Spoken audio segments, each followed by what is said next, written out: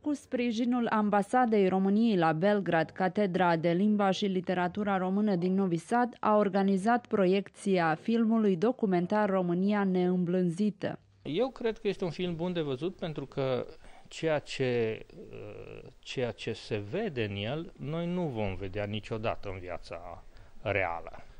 Adică sunt surprinse animalele acestea greu, greu observabile în cele mai uh,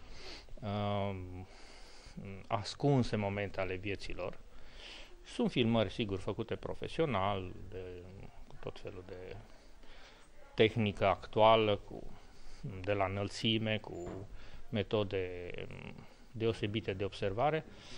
Uh, și eu cred că publicul se va bucura de această uh, intrare pe o ușă din spate în natură. Filmul documentar România neîmblânzită a obținut Delfinul de Aur la Cannes la categoria cel mai bun film despre natură, mediu și ecologie.